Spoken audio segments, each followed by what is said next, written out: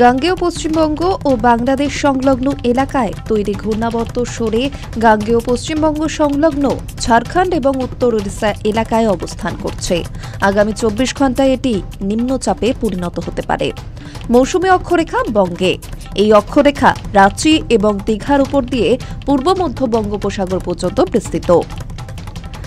আগামীকাল বৃহস্পতিবার দক্ষিণবঙ্গের ছয় জেলায় বজ্রবিদ্যুৎ সহ হালকা থেকে মাঝারি বৃষ্টির পূর্বাভাস। বৃষ্টি হওয়ার সম্ভাবনা বীরভূম, পশ্চিম বর্ধমান, মুর্শিদাবাদ, নদিয়া, উত্তর ও দক্ষিণ চব্বিশ পরগনা জেলায়।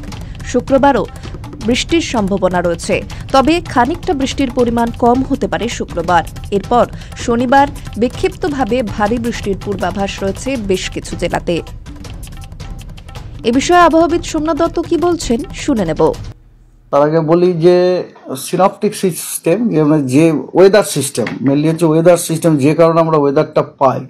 ওয়েদার সিস্টেম হচ্ছে একটা, গতকাল যে আপনাদের বলছিলাম যে একটা সাইক্লোনিক সার্কুলেশনের কথা, তো গতকালে যে আমি চক্রবাত ঘূর্ণবার্তাটার কথা বলেছিলাম যে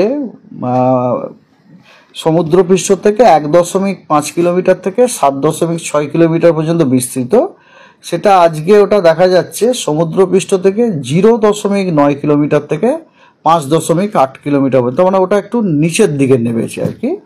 এবং যেটা আপনাদের আমি বলছিলাম যে সাধারণত এরকম হয় অনেক সময় এরকম ধরনের একটা সাইক্লোনিক সার্কুলেশনগুলো চক্রবাত ঘূর্ণাবর্তগুলো ভূমিতে মানে সারফেসে ডিসেন্ড ডাউন করে যায়, পতিত হয়, ভূপতি, ভূপতিত হয়ে ওখানে একটা লো প্রেশারের রূপ ধারণ করে। তো আজকে আমাদের ডিপার্টমেন্ট থেকেই এটা ফোরকাস্ট বুলেটিনে এটা উল্লেখ করা হয়েছে যে আগামী চব্বিশ ঘন্টাতে এই যে আমি চক্রবাত ঘূর্ণাবর্তর কথা বললাম, তার প্রভাবে কিন্তু একটি নিম্নচাপ নিম্নচাপ এরিয়া কিন্তু ফর্ম হতে পারে আর কি হ্যাঁ? আর এটা বাদ দিয়ে মনসুন ট্রাপ আমাদের এরিয়াতে দীঘা দিয়ে পাস করছে। দীঘা দিয়ে পাস করে তারপরে south eastwards east central বেতে গেছে।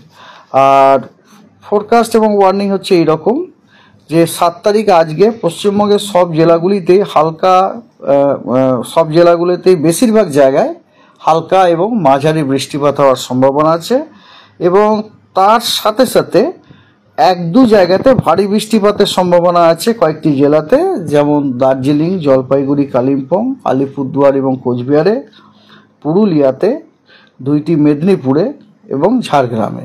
এবং আহ, বজ্রবিদ্যুৎ সহ বৃষ্টিরও এক দু জায়গাতে হওয়ার সম্ভাবনা আছে।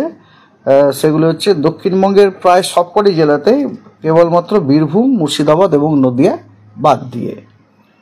আগামীকাল আট তারিখে আট তারিখে আপনার অনেক জায়গায় ভারী থেকে মাঝারি বৃষ্টিপাত হওয়ার সম্ভাবনা আছে।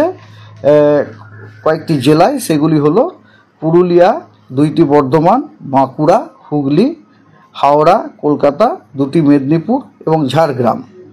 এই জেলাগুলির অনেক জায়গায় হালকা থেকে মাঝারি বৃষ্টিপাত হওয়ার সম্ভাবনা আছে এবং পশ্চিমবঙ্গের অন্য জেলাগুলিতে হালকা থেকে মাঝারি বৃষ্টিপাত হওয়ার সম্ভাবনা বেশিরভাগ জায়গাতে হওয়ার কথা।